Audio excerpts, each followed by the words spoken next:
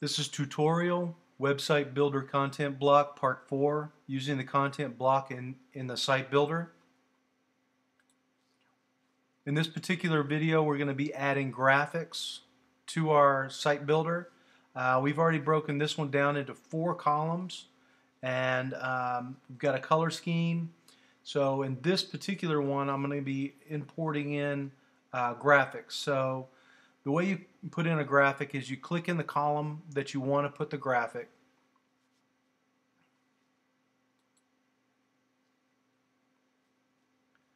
And wherever you want that graphic to be, I want this particular graphic to be above this word body.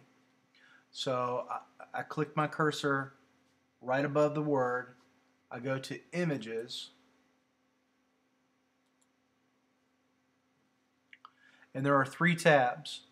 Um, image library. These are the images that uh, come with the site builder. You can use any of these images. They're royalty free. One thing I would stress, um, do not go on the internet and just pull graphics from anywhere. Um, most of the graphics that you'll see on the internet uh, of this nature are copyrighted and um, either you have to purchase a license to use them or buy them outright. So I would not recommend going on just a random site and grabbing a photo and putting it on your site. These, however, are uh, you do have the right to use. If you mouse over them, they'll tell you how big they are. This particular one is 200 pixels by 300 pixels. And to give you an idea of what that is,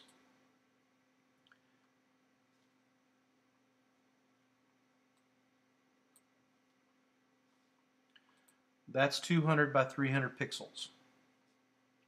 So it's 200 pixels wide by 300 pixels high.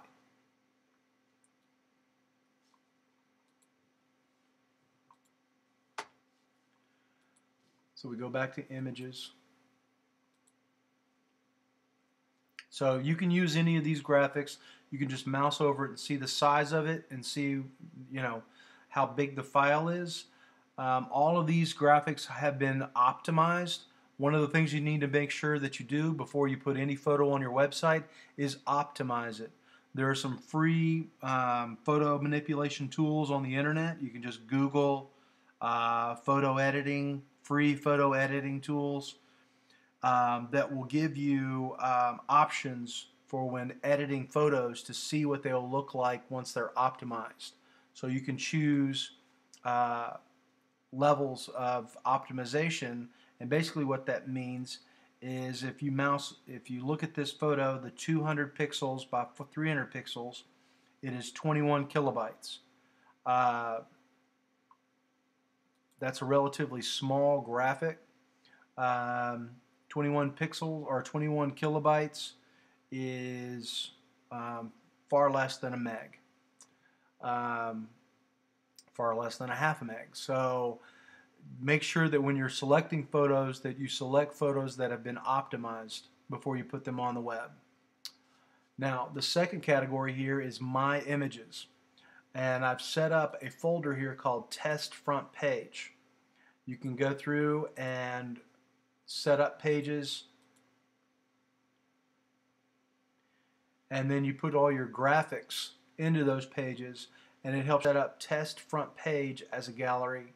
The way you do that is you go to upload and you mouse over or click on the, uh, the gallery selections here, go down to create gallery, name it, and then create it.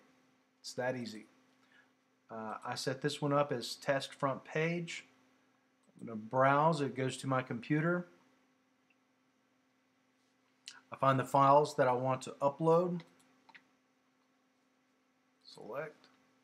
I can go back and grab more.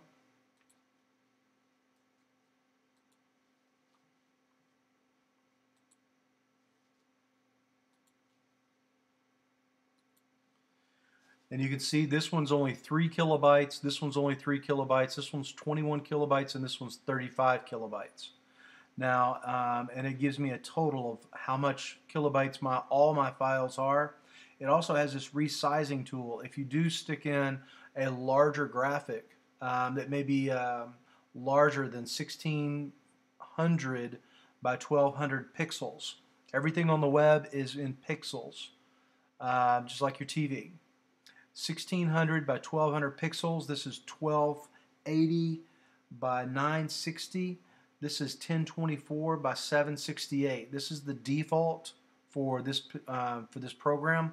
If you're doing a photo gallery, you probably want to even do less than that. You probably want to do around 800 by 600 or 640 by 480 for like a photo gallery. Um, these are already been sized, so I don't need to worry about formatting. All I have to do is upload them.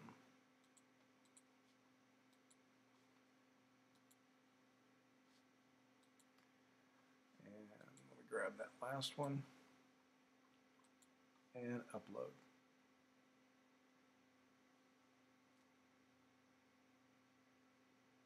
Okay, now my four images are in my test front page.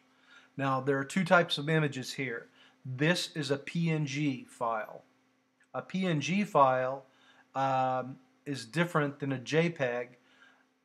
If once I, once I import this, you'll see.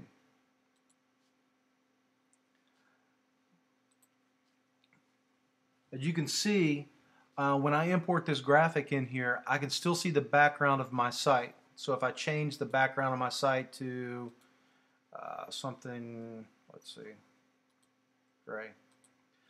Whatever I change my background to, I can still see it through my graphic. That is, that's what a PNG file will do. If I put in my JPEG, if I go back and I put that JPEG in here,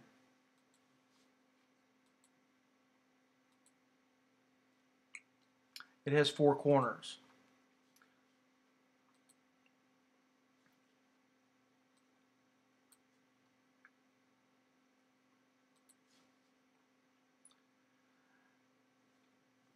Now if I go back and uh, let me go back and just grab something that um, should be a PNG but is not.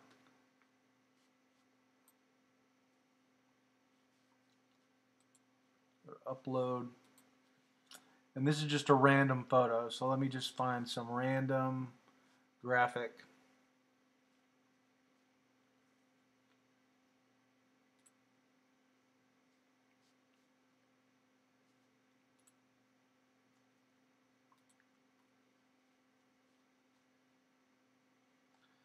Most of these I have set up to do. Let's see.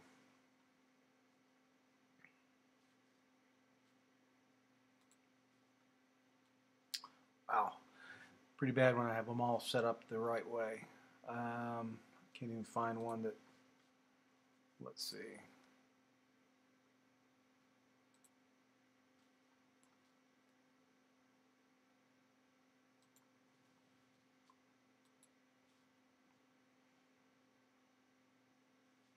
Okay, if I drop this on there, it's just set up as a JPEG.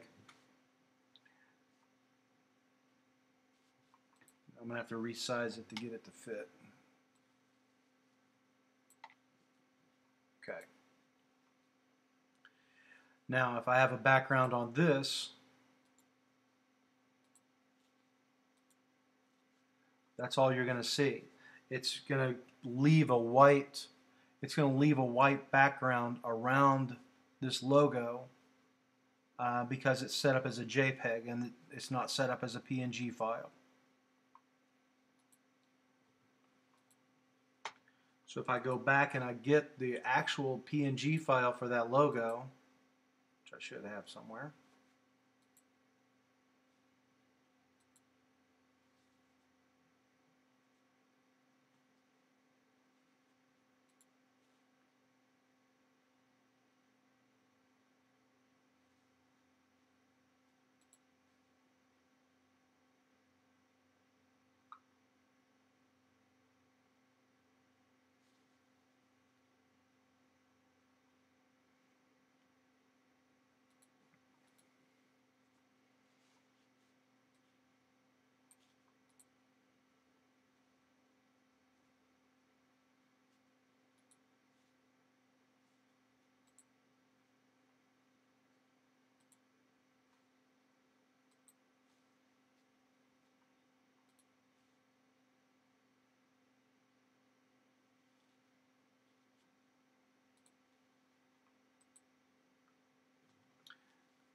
as you can see, it doesn't have a background. So it, it comes in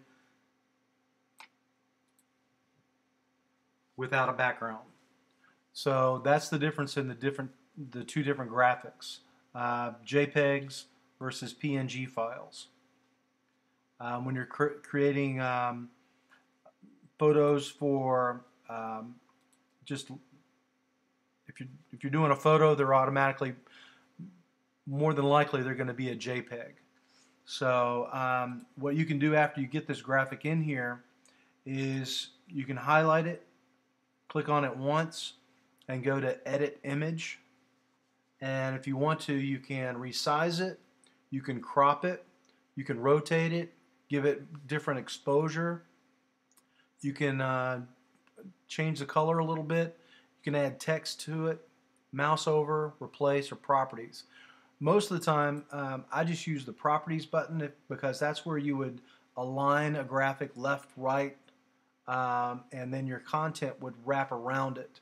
I'll show you what that looks like in a different one. But for now, what I'm going to do is just create a border. I'm going to create a black border. I want it to be, um, it's going to be one pixel. Now if I wanted to make it a thick line, then I can make it like three pixels.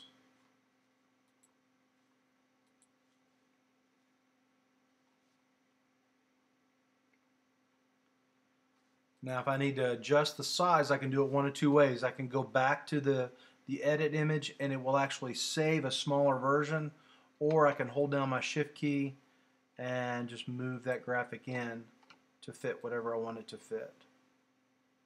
And it tells me the size. Now it doesn't save it, so if I need to recreate it, I'd have to recreate the whole thing. But if I know I'm just going to put in the one graphic, then it's easy enough to do it that way. So that's how you put a graphic into a column. Um, make sure that you set your column widths to accommodate whatever size photos you want to put in there. I can't move this photo to another uh, to another block. So sometimes what we'll do is we'll create a block just for the photo. So we'll put a so we'll put a photo in the block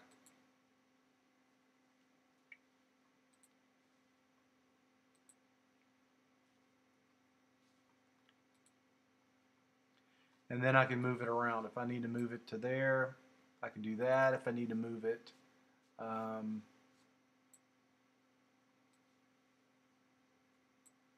over there, you know, so I have I have control of where I can move the photo because it's not in a block with other information. So you can set up as many blocks as you want. Um, just because they have this written, when you when you click on a box, it has click to add text, image, and more. Once I publish that, if there's nothing in this box, that doesn't show up on the internet. Um, it just it's just an empty space there. Um, in fact, a lot of times it doesn't even account for the space. So, but if you need, if you want to click it, if you want to delete it, then all you have to do is just go delete. Make sure whatever's in that box that you don't want to keep because once you hit delete, it is gone for good. So that's, that's how you can move a photo around. And that's about it.